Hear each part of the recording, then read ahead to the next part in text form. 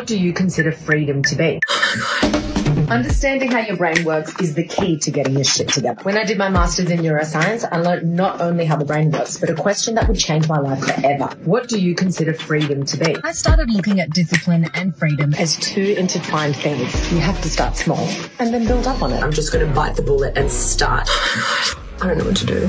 I started a podcast in my bedroom three years ago. It's up. I've built a community of like-minded people. They love neuroscience, psychology, and well-being. That is a power dynamic. That is emotional abuse. You cannot win an argument with a narcissist. Join me, Alexis Fernandez, as I give you the tools to get out of that funk and thriving. Want to know more? Listen to the Do You Effing Mind podcast out now. Search Do You Effing Mind on the LiSTNR app or wherever you get your podcasts.